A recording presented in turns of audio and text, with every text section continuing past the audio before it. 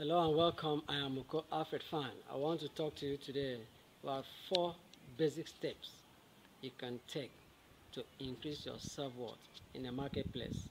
Four basic steps you can take to increase your self-worth in the marketplace. You know that the world is a global village.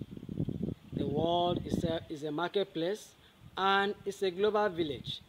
This is so because of the advancement in technology. Internet has made the world to become a global village. And as in any village, any typical village, there are people in a village that exchange goods and services in the marketplace. Take any village, typical village setting, for instance. There has to be people in that village, and there have to be commodities to be traded in a village. So also in the world. The world, because of internet, the advancement in technology, has become a global village. Once goods and services are traded, are exchanged, money comes into the picture. Now, the perceived value of a commodity in the marketplace determines its price. What does this mean? It means that in a typical village setting, when goods and services are taken to the marketplace, the price of those services is determined by its value, by the value of those goods. Now, the question for my intelligent audience is this Can a person, can an individual have a market value? Do I have a market value? Can I increase my market value? We know about football. Footballers, they are sold and bought based on their perceived market value. Now, how can you increase your self-worth? Look at Forbes magazine tells us about the self-worth of the billionaires of this world. How can you increase your self-worth in the marketplace? Now, in talking about self-worth value, two things come into mind. The value of a commodity in its raw form is different from the value of the same commodity in its refined form. What it means is that the value, the value of a commodity in its raw form is far cheaper than the value of the same commodity when it has been processed. Now, what happens is that in the raw form, we have the material in its crude stage, the raw, the undeveloped stage, and the naive stage. So if this were a human being now, if this were an individual now, you have the individual in his crude form, in his natural form, and you see the same individual when he has been refined.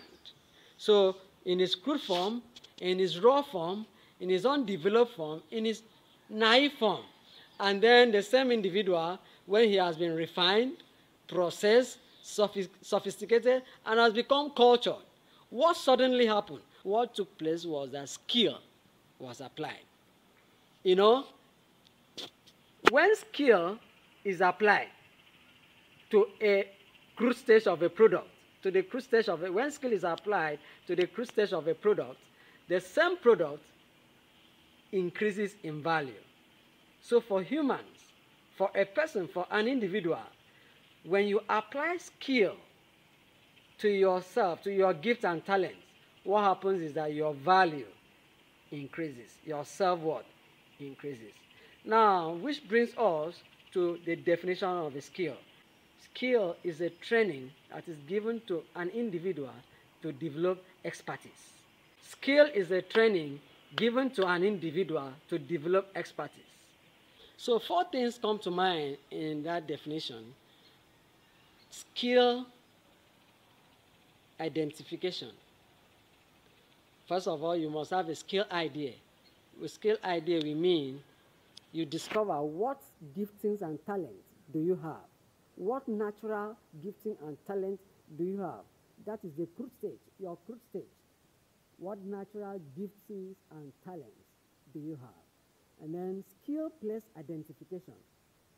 Where will this talent and gift be honed? Where will this talent and gift be trained? And then skill training, and acquisition. How will this skill be trained and the process, the practical process?